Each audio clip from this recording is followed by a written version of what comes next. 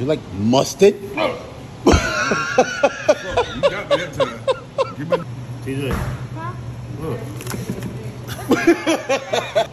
Yo, you ever had Doritos with ketchup and mustard? Nah, man, this shit's good. Really? Watch, I'm, I'm gonna put some on the Doritos. Watch.